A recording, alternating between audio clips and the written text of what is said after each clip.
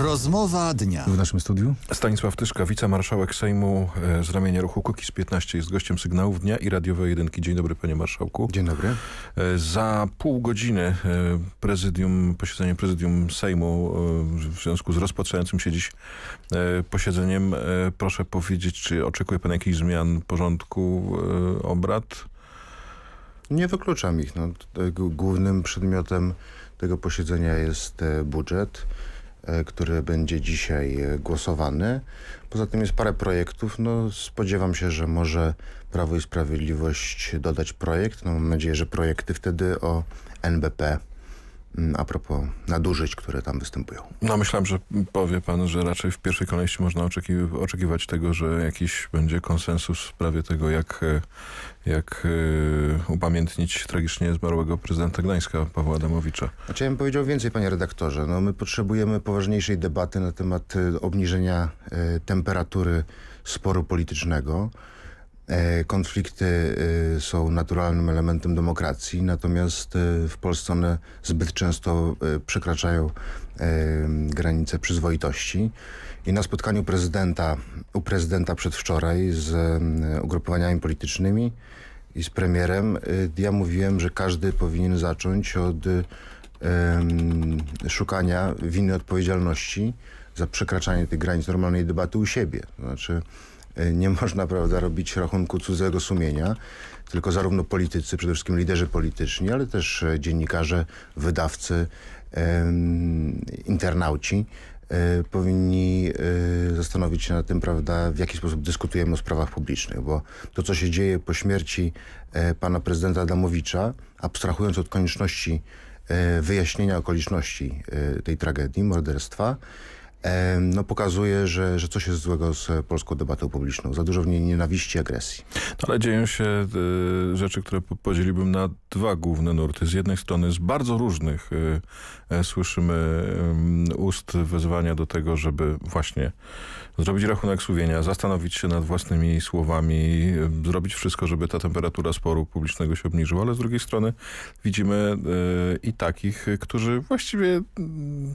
od, e, o, no, od poniedziałkowego wieczora nie mają wątpliwości, że to jest wydarzenie, które można jeszcze wykorzystać jako element walce politycznej i e, obwinić przeciwnika politycznego o to, że to on może e, odpowiada, że to jest mord e, polityczny albo mord nieledwie z inspiracji i tak dalej, i, i tak dalej.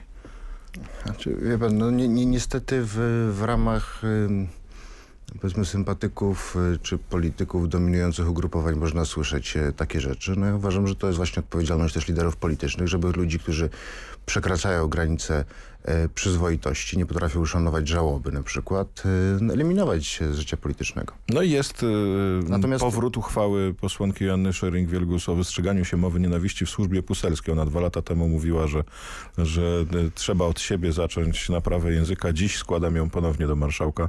Napisała na Twitterze polityk wtedy nowoczesnej, obecnie partii teraz. I co, myśli pan, że taka uchwała może być poważnie potraktowana w polskim, w polskim parlamencie?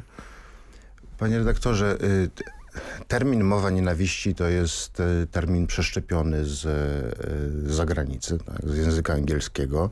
Natomiast my doskonale wiemy, czym jest agresja, nienawiść, oszczerstwo, obelga, em, obraza.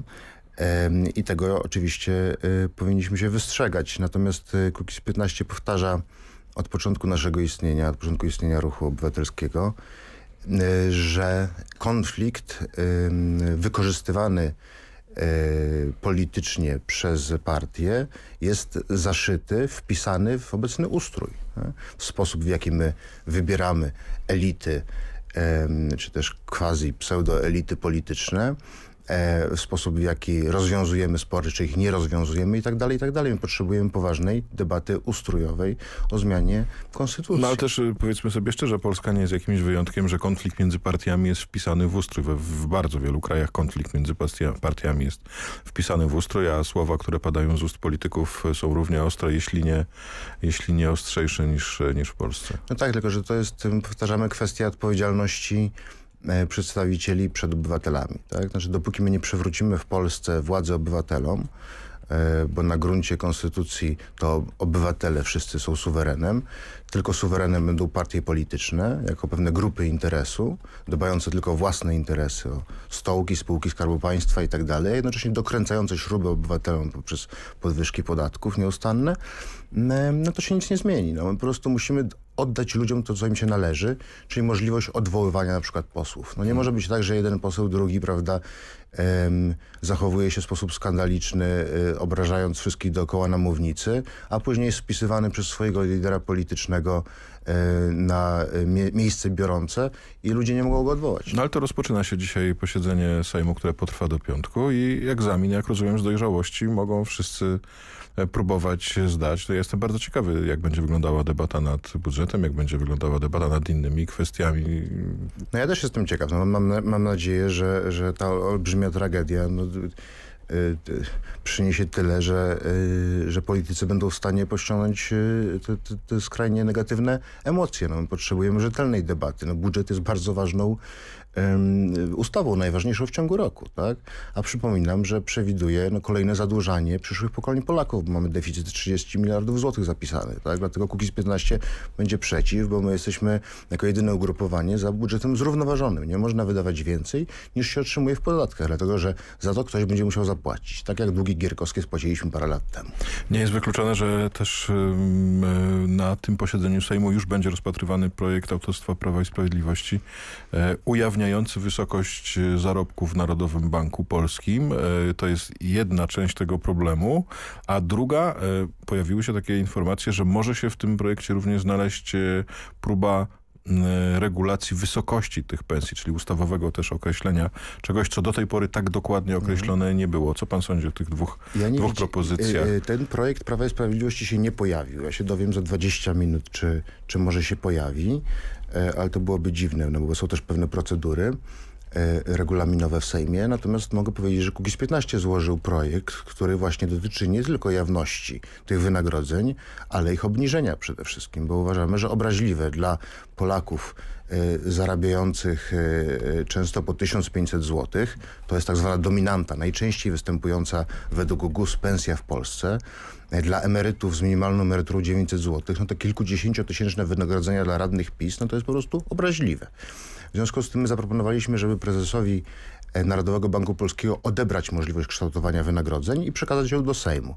Yy, analogiczne rozwiązanie jak przy Najwyższej Izbie Kontroli, żeby to marszałek Sejmu na wniosek prezesa NBP ustalał siatkę płac i uwaga kompetencji, żeby te yy, wynagrodzenia odpowiadały kompetencjom, ale też żeby były uregulowane kwestie nagród i premii. Dlatego, że no, my mamy taki problem, że e, rząd obchodzi e, zapisy ustawowe co do wynagrodzeń za pomocą pewnych dodatków do pensji.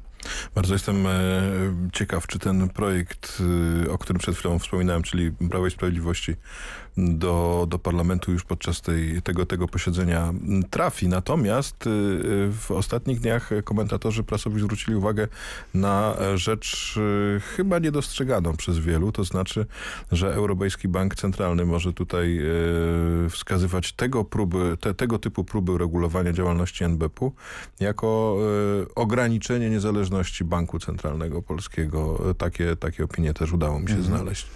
No nam zależy na niezależności Narodowego, Narodowego Banku Polskiego, natomiast on nie może być prywatnym folwarkiem mm, jednego człowieka. E, w związku z tym, jeżeli prezes NBP powoływany jest e, na wniosek prezydenta przez Sejm, no to tak samo można zabezpieczyć jakby kwestię kształtowania płac w tym zakresie.